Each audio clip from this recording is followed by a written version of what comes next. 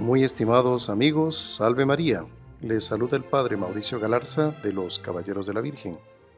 Extraemos otro trecho de los Santos Ángeles del Padre José Fuchs, quien nos narra así.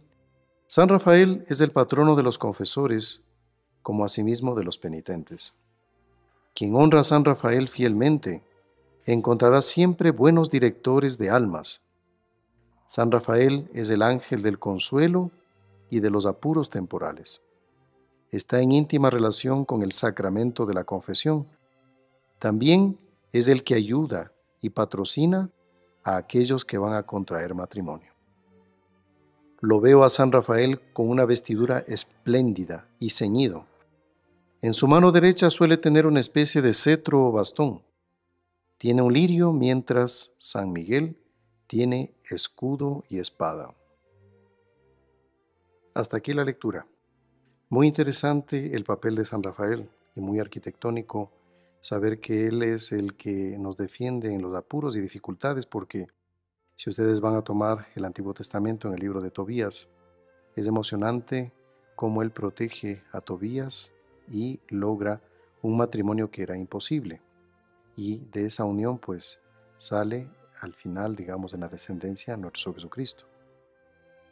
San Rafael es el que ayuda a aquellos que quieren contraer matrimonio.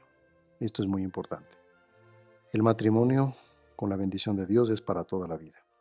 La persona no puede cambiar de esposo o de esposa como uno se cambia de celular o como uno cambia, no sé, las llantas de un vehículo cada cierto tiempo. Eso no existe. En las cosas de Dios todo es serio.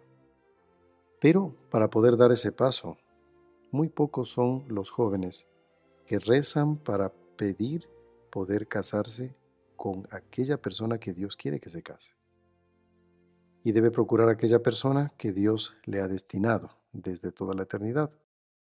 Así que los que van a contraer matrimonio o están de novios pueden ya rezarle a San Rafael para que Él logre que esta unión sea para siempre y que el matrimonio tenga hijos. La finalidad del matrimonio es tener hijos, que esos hijos salgan bendecidos por Dios con la intercesión de San Rafael. Pidámosle esta gracia a la Santísima Virgen. El Señor esté con ustedes y con tu espíritu. Y la bendición de Dios Todopoderoso, el Padre y el Hijo y el Espíritu Santo, descienda sobre ustedes y permanezca para siempre. Amén. Dios te salve, Reina y Madre, Madre de misericordia, vida, dulzura y esperanza nuestra. Dios te salve, a ti clamamos los desterrados hijos de Eva. A ti suspiramos, gimiendo y llorando en este valle de lágrimas.